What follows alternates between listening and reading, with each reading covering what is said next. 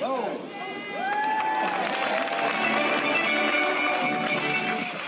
年の10月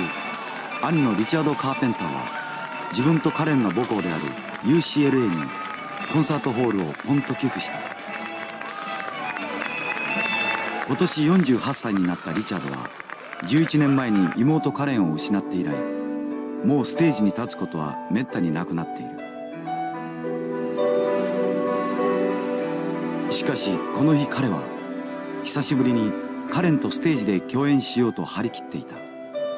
For you've got the love I need so much Got the skin I love to touch. Got the arms to hold もう帰らない妹カレン